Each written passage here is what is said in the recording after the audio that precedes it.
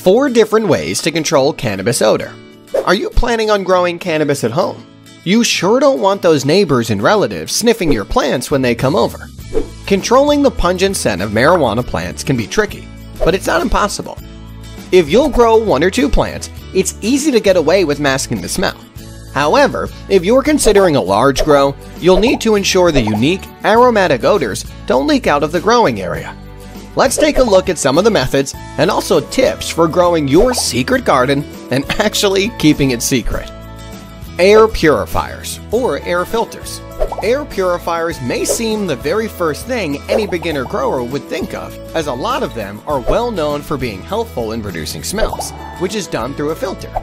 But if you're seeking a highly effective, stronger way of removing the powerful smell of your marijuana plants, these are not the perfect choice. Carbon filter or scrubber. Carbon filters or scrubbers are widely used by professional marijuana growers. They're excellent in neutralizing any odors that pass through by drawing the smells out of the air. They work by using activated carbon, which chemically absorbs smells from the air that is pushed through the filter. A good carbon filter will guarantee no smell would leak out through the window and into your neighborhood. All you need to do is set a carbon filter in your exhaust system. As the air in the room passes through the carbon filter and out the room, the air is deodorized and is smell free. Besides being highly effective, carbon filters are simple to maintain and are long lasting. In order to install the right carbon filter, you need to identify the diameter of your exhaust. Match up the airflow CFM rating between fan and carbon filter, and finally, install the fan and filter into the exhaust system.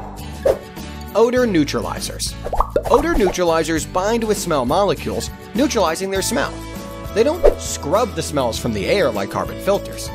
One of the recommended odor neutralizer brands is Ona Products. After testing, Ona Gel in the original scent seems to be the most effective for covering up marijuana smells. With a couple of these, you are able to cover up almost all smells if you have a few plants in a closet or tent. Please note that placing such products in your grow room or tent reduce or alter the flavor of buds over time, since they work so well in neutralizing any odors. So, they should be outside of the growing area. Depending on the size of Ona product you buy, humidity and temperature of your grow room, it could last anywhere from 4 to 6 weeks. Just make sure you don't use it inside the grow room. Ozone generator. Apart from ozone being bad for your health and environment, it's actually not effective in eliminating marijuana odor. Some people claim it is as effective as carbon filters, but even if it is so, with its health and environmental risks, its disadvantages outweigh the advantages, and with the availability of stronger, safer alternatives, we don't recommend using it. So, if you want to grow cannabis at home, it is probably a good idea to start growing now, before the supply diminishes if you aren't already. In California, adults are only allowed to use or carry up to an ounce of cannabis. Growing for personal use is also limited to six plants. There are no caps for medical card holders. You're allowed to use and grow as much as needed within 100 square feet. Even opt for a grower's license in California if you need more. If you want to start growing in California, make sure to get your medical recommendation from the CA licensed physician. Fortunately, this process can be completed online in minutes. Visit onlinemedicalcard.com and talk to a doctor online now. Have more questions about growing marijuana in California? Post them below. Thanks for watching.